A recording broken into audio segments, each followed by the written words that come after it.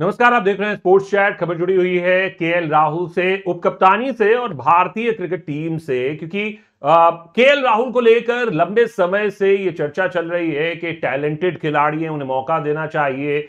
आ, बहुत से पूर्व क्रिकेटर्स कहें कमेंटेटर्स कहें जिन्हें आईपीएल में भी हम देखते हैं अलग अलग तरीके के कॉन्ट्रैक्ट्स पर। वो सामने आकर के एल राहुल का समर्थन कर रहे हैं। आठ साल लगातार के एल राहुल आठ साल बाद भी अपनी जगह को पक्का नहीं कर सके हैं। तीस तैंतीस की औसत उनकी रही है, तीस विदेशों में तैंतीस की ओवरऑल लेकिन उसके बावजूद भी बहुत से जो पूर्व क्रिकेटर्स हैं, वो उनका समर्थन करते रहे। लेकिन अब अब फाइनली जो उनके पूर्व हेड कोच थे, जो कि पाँच साल तक भारतीय क्रिकेट के सर्वे सर्वा रहे, एक तरीके से भारतीय क्रिकेट उनके अंडर में रहा रवि शास्त्री, उन्होंने के राहुल पर जो वर्डिक दिया है उसे सुनकर आपको थोड़ा सा चौंक भी सकते हैं आप और यह भी कह सकते हैं कि फाइनली आखिर कोई एक व्यक्ति है जिसने दो टूक बात की है जिसने आ, बिल्कुल आ, जिसे कहते हैं कि दूध का दूध पानी का पानी दोनों अलग कर दिया है और कोई मिक्सचर उनकी बात में कम से कम मुझे नज़र नहीं आया। उन्होंने साफ़ तौर पर कहा कि केएल राहुल उन्होंने नाम लेकर नहीं कहा, लेकिन उनकी बातों का जो मतलब है, मैं एग्जैक्ट बात भी उनकी बताऊँगा, लेकिन उनकी बातों का जो मतलब है वो ये कि केएल राहुल जैसा अगर उपकप्तान है तो उसका बोझा ढोने की आपको ज़रूरत नहीं है। केएल राहुल जैसा अगर आउट ऑफ़ फॉर्म प्लेयर है तो आप उसे निकाल कर बाहर करें। कैसे बाहर करें? जैसे दूध में से मक्खी को बाहर किया जाता है वैसे आप ऐसे खिलाड़ी को बाहर करें। बहुत टैलेंटेड प्लेयर है।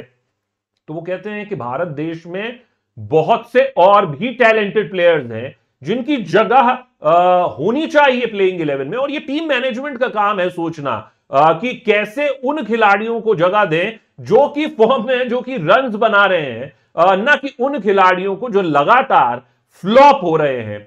आ, अब उनके इन बातों के जो मतलब है, ये कम से कम उन्होंने आकर कोई वेंकटेश प्रसाद की समर्थन नहीं कर दिया, उन्होंने आकर किसी की खिलाफत नहीं कर दी। लेकिन अपने अंदाज में रवि शास्त्री ने दो टूक बात कही है।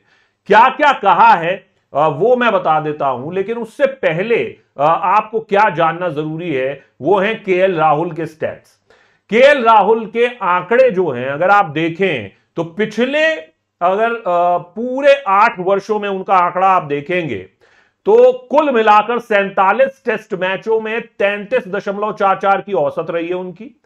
सात शतक उन्होंने लगाए हैं। ये उनका उसके बावजूद रिकॉर्ड है। अब आप समझ लीजिए, आठ साल आपका नंबर वन टेस्ट ओपनर अगर ये है तो फिर तो भैया आप समझ लीजिए कि भारतीय क्रिकेट का क्या हाल हो रहा है।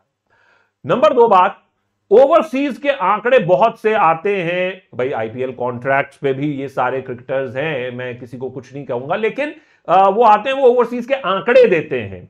तो जब आंकड़े देते हैं तो ओवरसीज में भी आंकड़े उनके मैं बता देता हूँ आपको तीस की औसत है दोस्त। छप्पन पारियों में आ, ये के राहुल का रिकॉर्ड रहा है। छह शतक लगाए हैं। लोग ये तो बता देते हैं कि छह शतक लगाए हैं। ये बताना भूल जाते हैं कि भाई आठ साल में तीस की औसत है छप्पन पारियों में, यानी कि छह शतक पचास पारियाँ फ्लॉप ये उनके आंकड़े हैं। पिछले एक साल यानी कि 2022 से अगर अभी तक के उनके आंकड़े देखेंगे आप तो पंद्रह दशमलव नौ शून्य की औसत, सोलह की औसत भी नहीं है। ये केएल राहुल का रिकॉर्ड है दोस्त। अब रवि शास्त्री ने सीधी दो टूक बात क्या कही है? उन्होंने कहा यह टीम मैनेजमेंट का काम है कि उपकप्तान किसे बनाए? उन्हें पता है उन्हें साफ़ दिखाई दे रहा है के एल राहुल किस स्ट्रगल में है किस फॉर्म से गुजर रहे हैं वो उसकी मानसिक स्थिति भी जानते होंगे। तो ऐसे में आ, आ, उन्हें पता है कि उपकप्तान किसे बनाना चाहिए किसे हटाना चाहिए। शुभमन गिल की फॉर्म को भी तो वो देख रहे होंगे। और मुझे ऐसा लगता है रावी शास्त्री ने कहा मेरे विचार में मेरा यह मानना है कि कोई उपकप्तान बनाने की ज़रूरत नहीं है। खास तौर पर भारत में जब आप खेल रहे हैं, किसी उपकप्तान की ज़रूरत नहीं है और मैं तो अपनी बेस्ट इलेवन के साथ जाऊँगा। उपकप्तान का बोझा मैं नहीं ढोना चाहूँगा। अगर वो उपकप्तान है, आपको उसको प्लेइंग इलेवन में रखना ही है। तो इसमें मान लीजिए कि अगर कप्तान को छोड़नी भी पड़ी फ़ील्ड थोड़ी देर के लिए, यानी कि रोहित शर्मा को बाहर जाना भी पड़ता है तो आप किसी भी एक खिलाड़ी को ज़ीरो इन कर सकते हैं कि ये उतनी देर के लिए कप्तान की भूमिका निभा लेगा। ताकि आपको बहुत ज़्यादा कॉम्प्लिकेशंस ना हो। बहुत ज़्यादा इसमें दिमाग नहीं लगाना है। उसके बाद वो कहते हैं कि आपका उपकप्तान प्रदर्शन करेगा नहीं। और ऐसे में फिर कोई उसकी जगह ले नहीं पाएगा। अगर वो उपकप्तान का टैग उस पर लगा हुआ है तो कम से कम जब टैग नहीं होगा तो कोई उसकी जगह तो ले पाएगा। और ऐसे में उन्होंने कहा, बिल्कुल सीधी दो टूक बात करते हुए कि होम कंडीशंस में, घरेलू मैदान पर किसी उपकप्तान की ज़रूरत नहीं है और जो ऐसा उपकप्तान जिसका बोझा ढोना पड़े। और इसमें उन्होंने कहा कि ओवरसीज में आपकी थोड़ी अलग कंडीशंस होती हैं, वो एक अलग बात हो गई। लेकिन यहाँ पर आप वो चाहते हैं कि जो आपका खिलाड़ी प्राइम फॉर्म पर है, यानी सीधा इशारा शुभमन गिल की तरफ़ कर रहे हैं कि who's red hot who is in red hot form तो वो आप चाहते हैं कि मैदान पर उतरे।